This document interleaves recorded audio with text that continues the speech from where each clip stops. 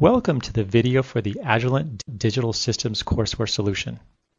This video introduces a complete out-of-box solution focused on the teaching of digital system design, verification, and implementation.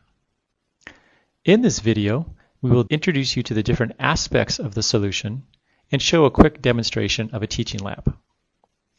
The Agilent Technologies Digital Systems courseware was designed to enhance knowledge in fundamentals of digital logic, digital system design methodology, digital building block designs, design verification, usage of EDA tools, and FPGA applications. This lab station is an integrated curriculum with a complete set of instruments, a development board, teaching slides, and lab experiments. The courseware covers many topics, from Introduction to Logic Circuits to sequential circuits to programmable logic devices, FPGA implementations, and finally synthesis options. Let's go through the setup overview of the courseware. The setup consists of an Altera DE2 development board as the FPGA implementation platform, an Agilent InfiniiVision 7000 series mixed signal oscilloscope, a PC loaded with Altera Quartus 2 and the MSO FPGA probe for Altera, and a PS2 keyboard connected from the DE2 board. The following demo lab implements a simple design that reads PS2 keyboard scan code outputs and displays the scan codes at the LCD module.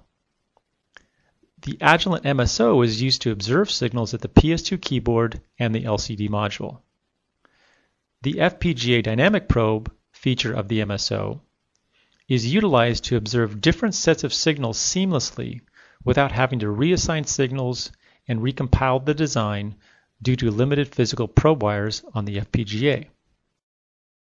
This block diagram shows an overview of the connection between the DE2 board, the MSO, and the computer. The DE2 board is connected to the computer via USB blaster for FPGA configuration and dynamic signal bank switching by the MSO FPGA dynamic probe software.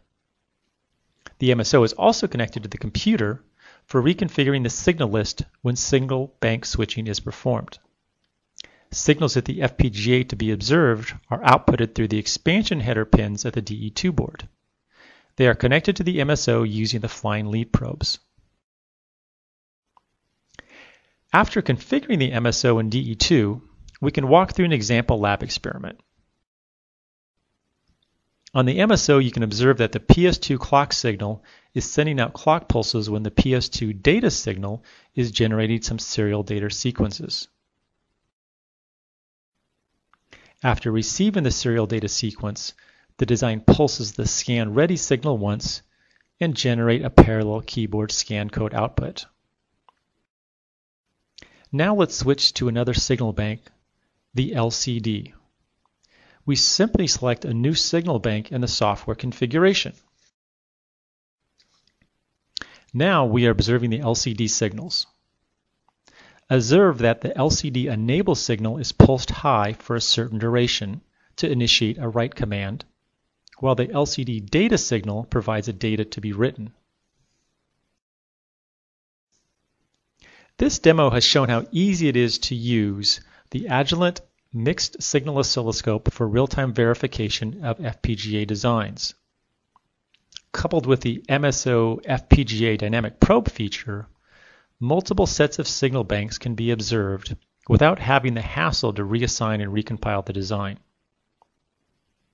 The Digital Systems courseware introduces this powerful feature in its lab exercises to allow students to learn state-of-the-art tools and instrument control in FPGA designs and verification. For more information, please visit the Agilent Educators Corner website, intended to be the resource site for teachers, students, and researchers.